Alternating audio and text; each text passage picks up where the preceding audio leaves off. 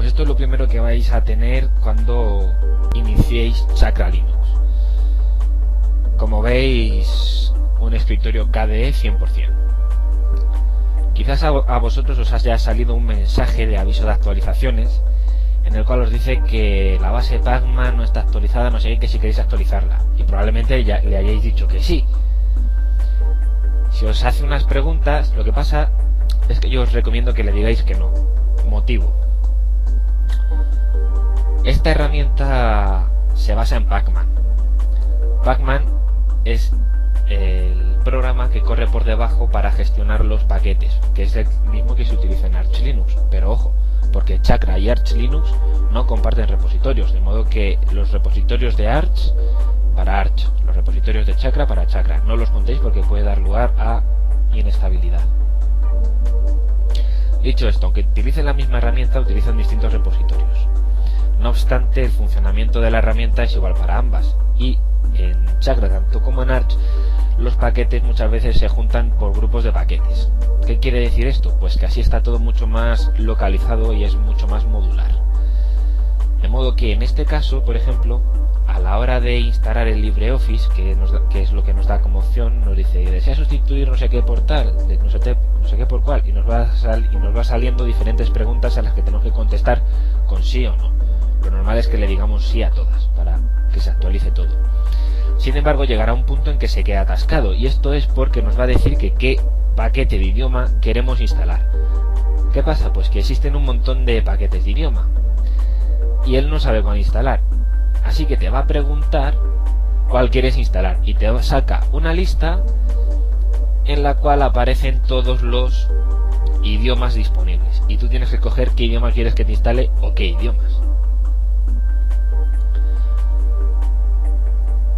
¿Qué pasa? Que la herramienta gráfica la pregunta esa no te la hace y se queda en un bucle infinito esperando una respuesta que nunca le va a llegar. Entonces, ¿cómo actualizar de la mejor forma posible? Pues podemos, podemos hacerlo con el gestor de paquetes de Chakra que aparece aquí.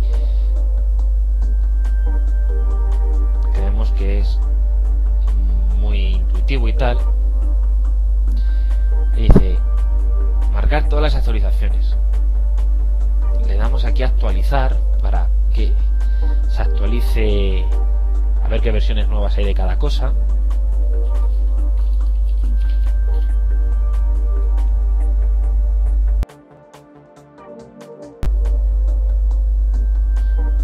Si nos fijamos antes había 156 y ahora hay 157 le decimos que marque todas las actualizaciones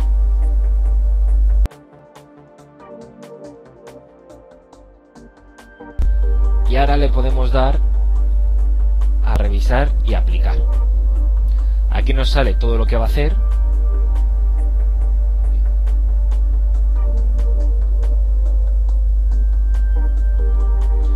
Como vemos con una cuenta atrás. Y automáticamente nos pide contraseña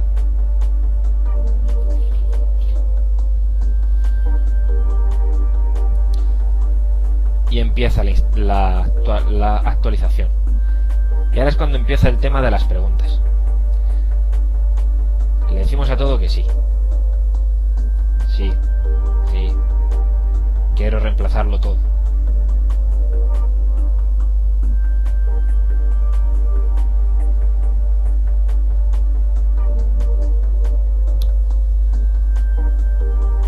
Y ahora se ha quedado esto pillado. Esto es lo que os dije antes de las preguntas del idioma. Si os fijáis, lo que está esperando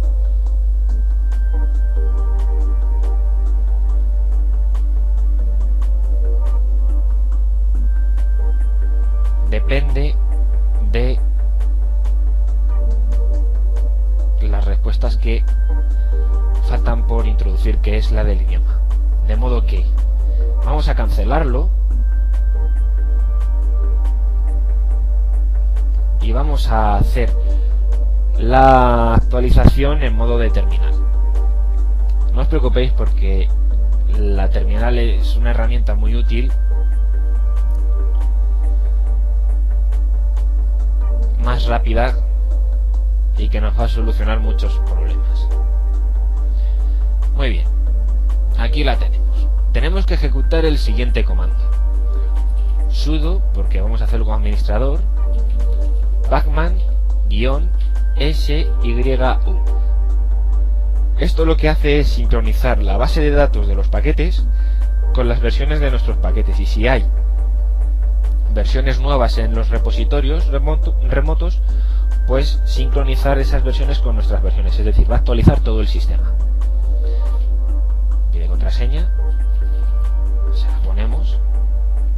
y aquí nos hace exactamente las mismas preguntas. ¿Quiere reemplazar bla bla? Sí, sí, sí, sí, sí, sí, sí, sí, sí, sí. Y ahora aquí es lo que yo os dije de los idiomas, que tenemos que coger el nuestro. El español es el 25. Aquí está. De modo que tenemos que introducir el número 25 para que se instale el paquete de idioma español. Clicamos a intro y ahora nos dice que esto está en conflicto. Que si queremos quitar módulo init tools. Le digo que sí. Y ahora nos hace aquí un resumen de lo que va a hacer. Va a descargar casi 600 megas de paquetes. Fijaos, es una barbaridad. Le decimos que sí y cuando termine retomamos esto. Bueno, pues ya está todo actualizado. Una vez que ya está todo actualizado, solo me queda contaros una pequeña cosa más acerca de, de Chakra. Y es que para instalar los programas existe este comando que es sudo pacman s mayúscula nombre del programa. No obstante, podéis utilizar el gestor de paquetes gráfico para instalar los, los programas, que es la cajita esta. Aquí sencillamente os venís a todo y podéis introducir aquí el término de la búsqueda. Por ejemplo, Sonotic, que es un juego de para Linux, le dais al intro y aquí lo tenéis. Además os lleva a la página web del juego donde podéis echar un vistazo a ver qué es este tipo de este programa. Podéis clicarle aquí al más y luego ya le dais a revisar y aplicar y ya está. No hace falta que hagáis que instaléis los programas uno por uno, podéis hacerlos todos de, golpe. Podéis navegar por las categorías de, programas y, y echar un vistazo. Y, bueno, ya solo me queda una cosita más por contaros, que es la utilización de los Humble Pack. Vamos a verlo. Nos venimos aquí al inicio, clicamos en Bundle Manager y nos sale esto. Estas son las aplicaciones que no están escritas en Qt y por lo tanto su integración con el sistema es pésima. De modo que aquí escogemos la que queramos, por ejemplo, esta que es muy famosa, Firefox, que la conoceréis todos. Pinchamos en el botón de descargar y esperamos a que lo haga.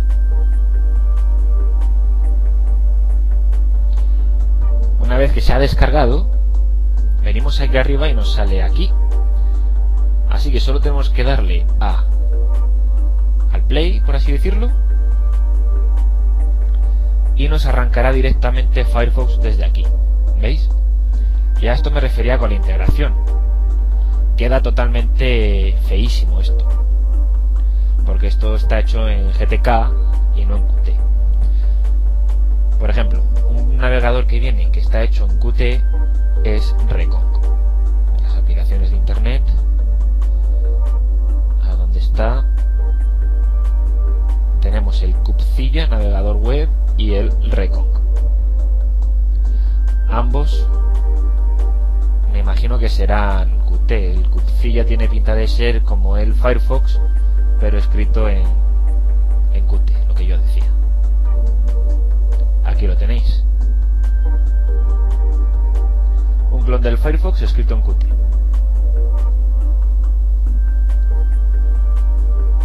¿Veis la diferencia de integración?